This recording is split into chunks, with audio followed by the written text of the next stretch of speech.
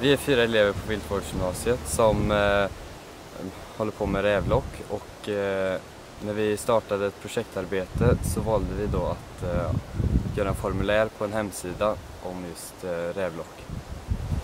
Vi använder hemsidan för att eh, samla ihop information från lyckade rävpass och eh, olyckliga med bom för att få fram vilken pipa, vilken tid.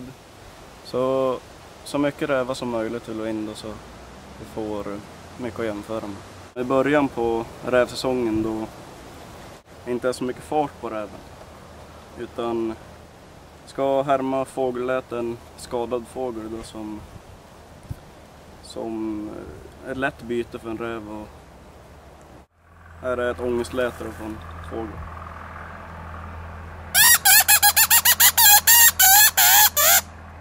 Och sen eh, finns det hackspett.